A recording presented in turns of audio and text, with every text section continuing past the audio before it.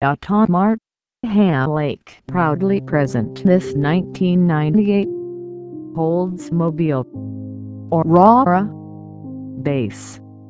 The body style is sedan. It has four doors. Transmission is automatic. Drivetrain is front-wheel drive. Exterior color is white.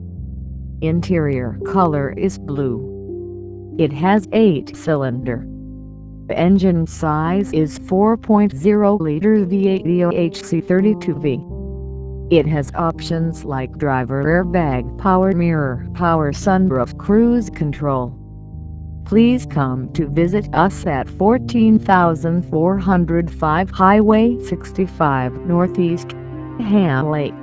Minnesota 55304 or give us a call at area code 763-757-7253.